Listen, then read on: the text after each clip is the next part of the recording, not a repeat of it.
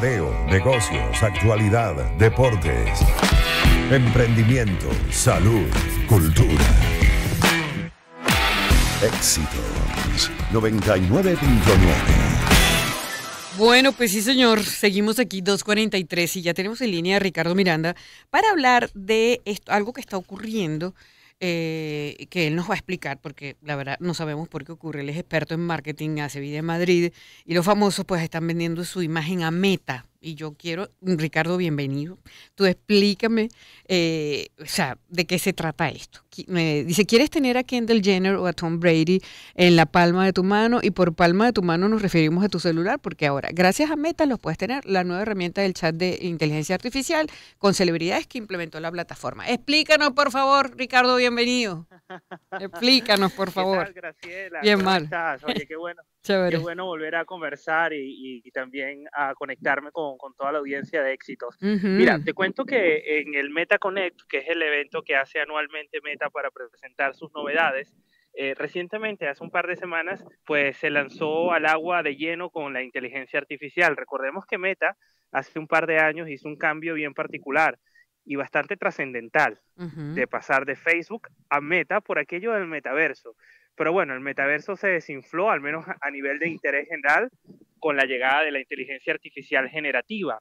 Es entonces cuando está Meta claro. dice, ¿sabes qué? Me voy a lanzar al agua y voy a apostar por la inteligencia artificial, aunque bueno, Meta lleva años trabajando en la in- con la inteligencia artificial, solo que ahora pues le ha puesto eh, nombre y apellido a cada una de esas características. Y entre ellas, precisamente se encuentra una muy curiosa de tener un contacto en tu WhatsApp, en tu Messenger o en tu DM o mensajería privada de Instagram con la que puedas conversar con cualquiera de estos famosos que has nombrado.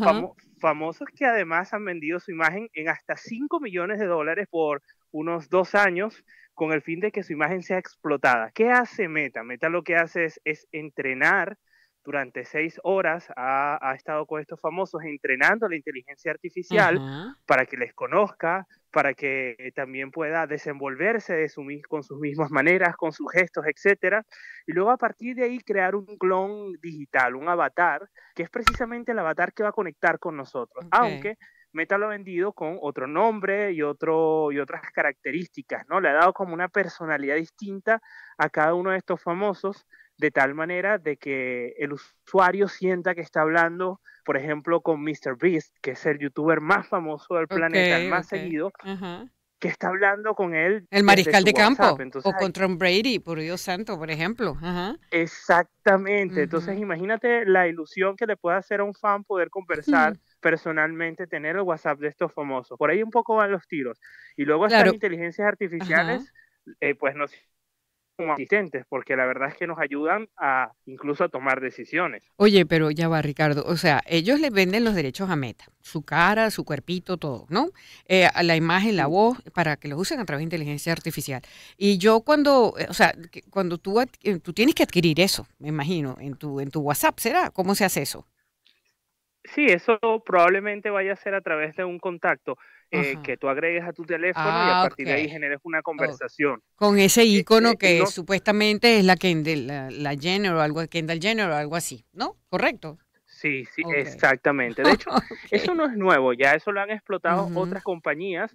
Eh, hay una muy famosa que yo invito a que ustedes agreguen a su WhatsApp que se llama Pi, así tal cual, PI. Si ustedes la googlean, eh, PI, asistente de WhatsApp, les va a aparecer un número telefónico de Estados Unidos que si ustedes agregan a sus contactos, pues va a aparecerles en WhatsApp. Y con ella vas a poder conversar como si fuese una persona. Pi es una inteligencia artificial que ha sido desarrollada con el fin de generar empatía, es decir, ha sido entrenada para ser empática con el ser humano, por lo cual su respuesta no es tan técnica como puede ser un chat GPT, por ejemplo, sino que es más bien más, más orgánica, más jovial, más informal y más sucinta también, o sea, no te va a escupir una gran cantidad de información, sino que te va a hablar con párrafos cortos, Claro, pero como vas a Alexa, sentir pues. en un momento Como Alexa. Exacto, vas a sentir en algún momento, pero bueno, Alexa, pero eh, in- eh, versión inteligencia artificial Sí, sí, generativa. sí, sí, Vas a sentir en algún punto en el que estás hablando con alguien. Aquello es sorprendente porque a veces hasta se te olvida que realmente estás hablando con, una inteligencia artificial. Yo la uso, por ejemplo, para que me transcriba algunas notas de voz, o le pido consejos, o, le pido favores, ¿sabes? Que de cosas mecánicas que necesito que, que haga rápido y la verdad es que me resuelve muchísimo y es gratuita. Bueno, para transcribir notas de voz me, me, me, gusta la idea. Ok.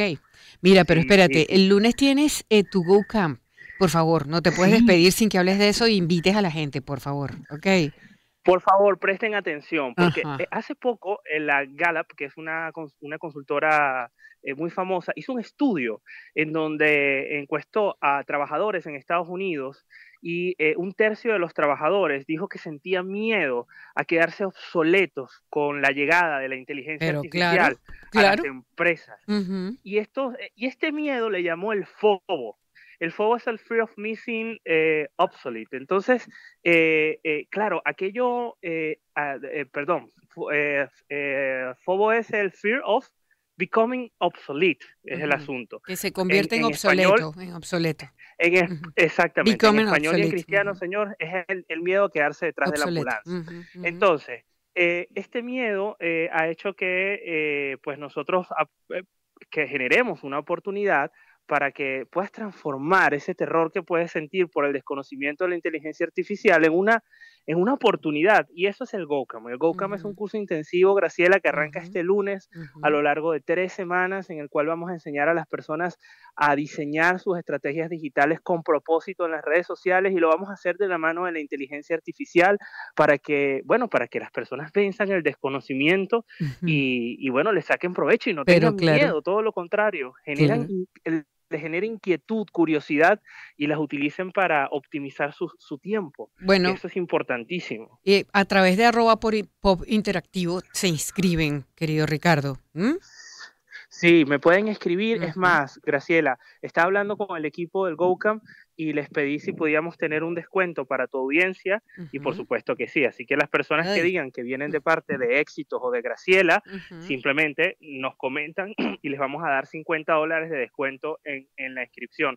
Solo quedan 30 plazas, ¿vale? Porque son plazas, plazas limitadas, 30 cupos Así que aprovecha, apúntate y si vienes de parte de Graciela o de Éxitos, eso sí nos tienes que decir porque si no, no lo vamos a adivinar. Te vamos a dar un descuento de 50 dólares. Así que corre y escríbeme ya en arroba pop interactivo. ok. Oye, qué chévere. Buenísimo, Ricardo. Estamos atentos a tu, a tu, a tu cuenta para leer todo lo que haces y, y promueves por allí. Un abrazo, querido. Buenas tardes. Claro que sí, un abrazo, Graciela. Chao. Ricardo Miranda, experto en marketing, arroba pop interactivo.